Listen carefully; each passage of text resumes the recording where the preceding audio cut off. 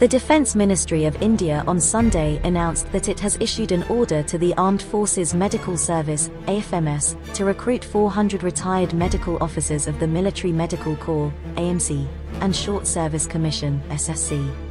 India has been badly affected by the second wave of coronavirus infection, and hospitals in many states are short of health workers, vaccines, oxygen, medicines, and beds.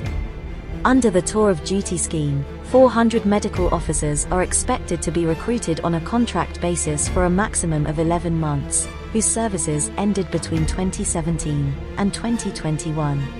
The Indian Defence Ministry statement said, it announced that a fixed lump sum monthly amount will be paid to these medical officers, which will be calculated by deducting the basic pension from the salary taken at the time of retirement. He said if there is any additional payment for the experts, it will be made from the top of this lump sum amount. It mentions that the amount will remain unchanged during the contract period and no other allowance will be paid. Please like and subscribe to Geopolitiki TV.